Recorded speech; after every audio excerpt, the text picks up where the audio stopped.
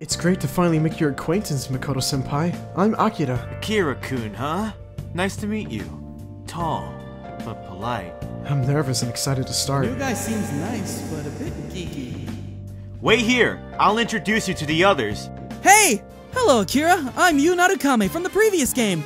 Ah, so you're you, Narukami.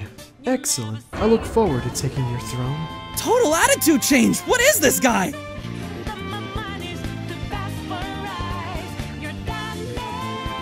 Fucking phone!